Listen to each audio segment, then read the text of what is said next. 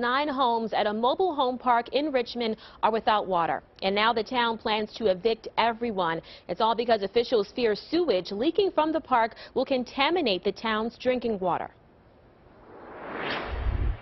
As you see, nothing.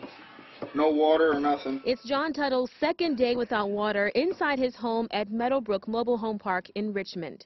It's kind of hard. Um, her mother lives in town, so we go over there, take showers. He and his girlfriend also struggle to care for their three-year-old without running water.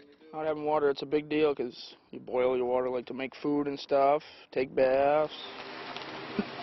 The Richmond Utility District shut off water to the park's nine homes yesterday after tests from the State Department of Environmental Protection found high levels of E. coli and excess water leaking from the park's sewage pump and underground pipes. I had no choice but to shut the water off to protect the rest of the town of Richmond's water supply from any cross-contamination. Frank Tabbitt, who heads the utility, says he ordered the park owner, Russell Edwards, to fix the water issues, but Edwards says he can't afford repairs. The amount of water leaking is 10% of the volume that we pump to the town of Richmond is actually leaking right here in this trailer park.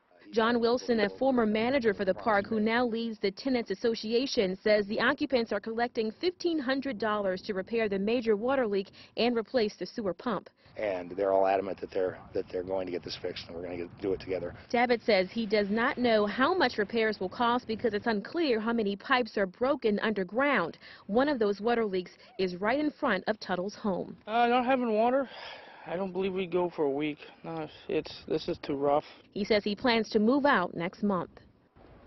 And we were told by the chair of the Selectmen Board that the town will issue eviction notices to all nine tenants today. He's calling the mobile home park uninhabitable. Meanwhile, the Maine DEP has sent the owner a violation notice which requires a response by tomorrow. That owner has not returned our calls.